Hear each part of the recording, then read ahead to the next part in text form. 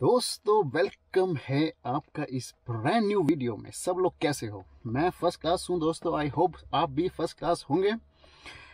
तो दोस्तों, बात होने जा रही है।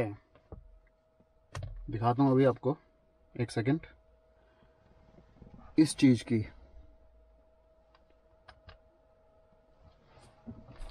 ये स्टैंप है। इसको कहते हैं अपुस्तीले स्टैंप पहले तो आप ये करें वीडियो को पॉज कर दो। सीरियस कह रहा हूँ वीडियो को पॉज कर दो। आपका जो बर्थ सर्टिफिकेट है जो कोई भी सर्टिफिकेट है ठीक है स्टडी का जो भी है सर्टिफिकेट आपका लेकर आओ। उससे पीछे देखो कि ये स्टैंप जो है लगी है कि नहीं। ओके okay, अगर लगी है तो ठीक है सब कुछ ठीक है। अगर नहीं लगी तो फिर ये वीडियो आगे देखो। ठीक है? ये देखो। ये जो स्टैंप है ना, दिख रही। रेड पिंक कह लो। पिंक एंड ब्लू कलर की जो स्टैंप है ना, जिसको नहीं पता मैं उसको बता देता हूँ। ये क्या है? ये इसको कहते हैं अपुस्तीले स्टैंप क्यों लगती है ये? इस वीडियो में आपको बताऊँगा। कौन से डॉक्यूमेंट पर लगती है ये? क्यों आपको ये चाहिए? कहाँ से मिलती है? एंड प्राइस बताऊँगा एंड टाइम कितना लगता है इसमें लगाने की। ओके ये अपुस्टील स्टैंप एक इंटरनेशनल स्टैंप है, जिसको कहते हैं अपुस्टील स्टैंप अगर आप वीज़ा लगा के किसी दूसरी कंट्री में जाते हैं वर्ल्ड वाइड स्टैंप के साथ एक डॉक्यूमेंट को ओरिजिनल माना जाता है। इजी यही बात है, ठीक है? वेरिफिकेशन जब करते हैं ना, एक डॉक्यूमेंट की, उसको ओरिजिनल माना जाता है। तो world wide hundred sixteen countries ये लिस्ट में है।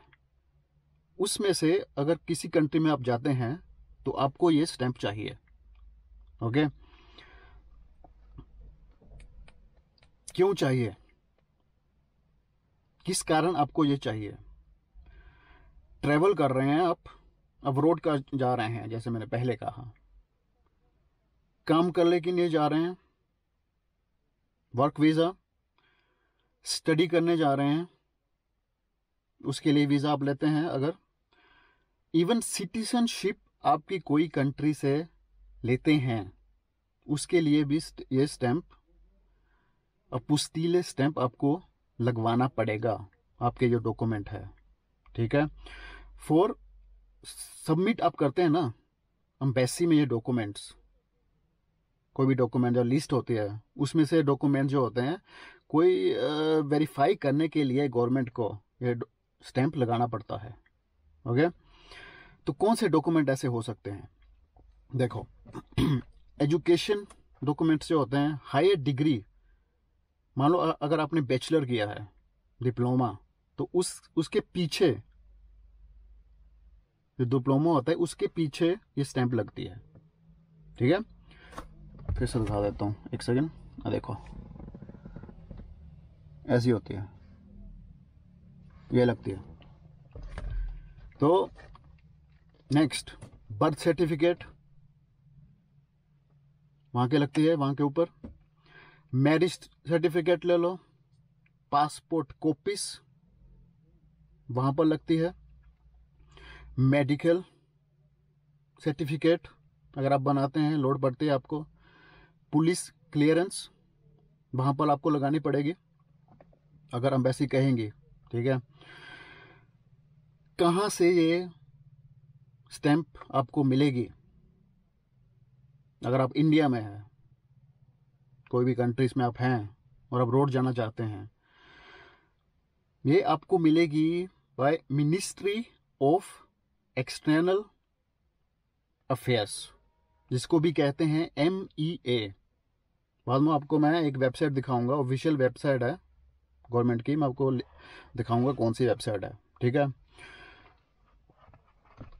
कौन सी सिटी में है ये? कहाँ से मिल सकती है आपको? न्यू दिल्ली ले लो। अहमदाबाद ले लो, भोपाल ले लो, चेन्नई, चंडीगढ़, कलकत्ता ले लो, लखनऊ, मुंबई। और भी सिटीज़ हैं, भाई, पूरा मैंने नहीं लिखा।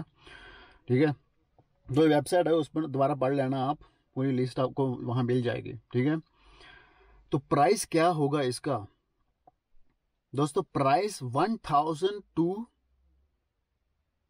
two thousand rupees आपको लग सकते हैं।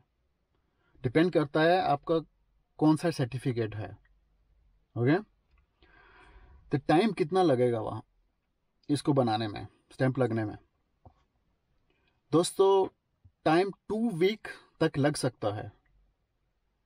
ओके तो वीडियो को एंड में आप देख लेना कि आपके डॉक्यूमेंट जो है, उसमें ये स्टैंप है कि नहीं है। ठीक है? तो अगर है तो वैसे तो अच्छा है। अगर नहीं है तो आपको लगानी पड़ेगी अगर आप ऑस्ट्रिया आ जाते हैं। तो कोई भी कंट्रीज़ ऐसी होती है जो लिस्ट में है 116 जैसे मैंने कहा कि 116 कंट्रीज़ इस लिस्ट में आती है।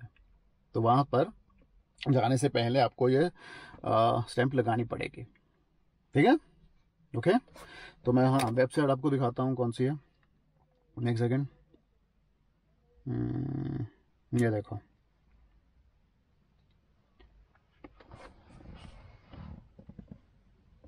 पीई सी पी सी ना? हाँ पीई सी ऊपर आपको लिंक दिख रहा है। पीई सी डालेंगे तो आपको मिल जाएगा। वहाँ पर सभी इंफॉर्मेशन लिस्ट वगैरह है। आप देख सकते कौन कौन सी कंट्रीज़ है। ओके एंड आई होप दोस्तों आपको ये वीडियो अच्छा लगा होगा। तो अगर अच्छा लगा है तो लाइक करके जाना, ऐसा मत जाना। तो अगर आप नए हैं तो सब्सक्राइब करना चैनल को, अगर आपने नहीं किया अभी तक। ठीक है, मिलते हैं नेक्स्ट वीडियो में। Bye take care